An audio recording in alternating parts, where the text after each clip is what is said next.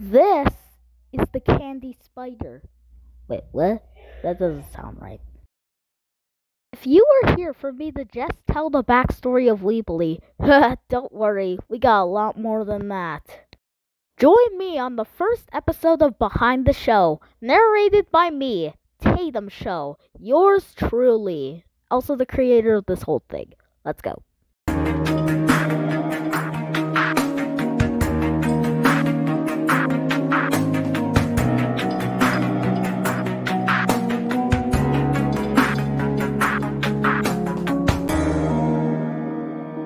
It all started on July 10th when my brother Rylan was leaving for Nanny and Papa's. But before he did, he gave me a little candy spider. But the candy spider did not look like a candy spider. It just looked like a little fellow with three green thingies on its head. I don't know. But this was the original Weeblee before it became the one we know and love. And when I noticed this, I was like, hmm, what if I could make a Garten of Banban OC out of this? So I got to work. I took a picture of the original and then I traced over it, and then boom, Weeblee was born. The sort of mascot on this channel.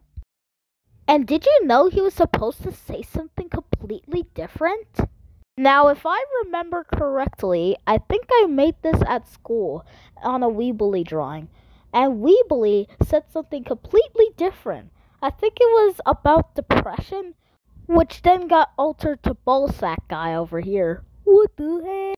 And by the way, if you do want to learn about these two, tell me in the comments. I really want to know. And that's the end of the first episode of Behind the Show, narrated by your boy Tatum Show. Jesus, why the f did that rhyme?